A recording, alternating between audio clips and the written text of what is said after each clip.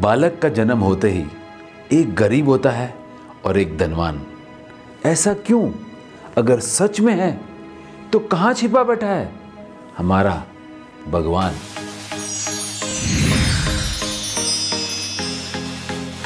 दोस्तों, बहुत से लोगों के मन में शंका है कि भगवान होते हैं कि नहीं।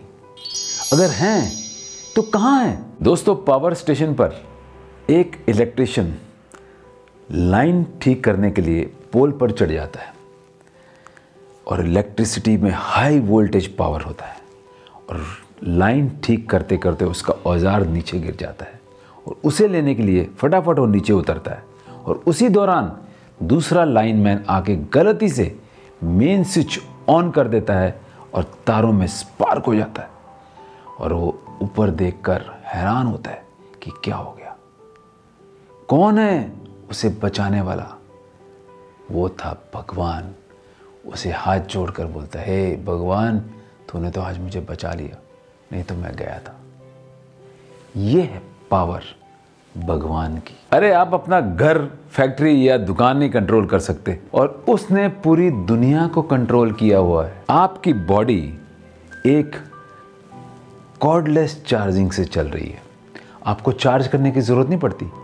आप रात को सोते हो, आपकी बॉडी चार्ज हो जाती है। कौन करता है? सोचिए जरा। कोई पावर है जो आपको चार्ज कर रही है? सोते हुए। कहीं जाने की ज़रूरत नहीं, कोई प्लग लगाने की ज़रूरत नहीं। आप चार्ज हो जाते हो। अरे, क्या कमाल की चीज़ है। ईश्वर ने करेला बनाया कड़वा। उसमें कोई कोटत्तन तो नहीं डाली। वहीं पर एक मैंगो। क्या मीठा फल होता है।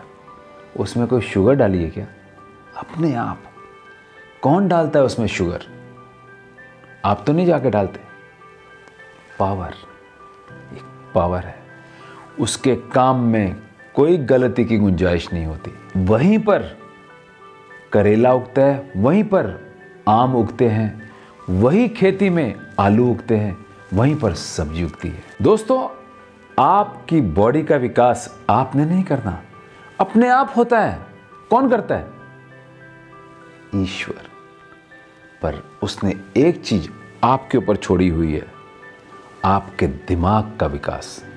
वो आपने करना है। हम ऑक्सीजन लेते हैं, हमें दिखाई नहीं देती। कहाँ है? इसी तरह हमें भगवान भी दिखाई नहीं देते। कहाँ है? आस पास है। हर जगह में हर कण में है। ईश्वर। क्या अरेंजमेंट है दोस्तों? ईश्वर का। आप पैदा होते हो तो आपके लिए धरती पर उसने अरेंज किया हुआ है। दो इंसानों को आपके लिए रखा हुआ है कि आपकी देखभाल करेंगे और आपको पालेंगे। कौन है? माँ और बाप। देखिए, आपका अरेंजमेंट वो वहीं से करके भेजता है। वो है भगवान। दोस्तों, जिसके काम में गलती की कोई गुंजाइश नहीं जो पल पल बचाता है आपकी जान वही तो है हमारा भगवान।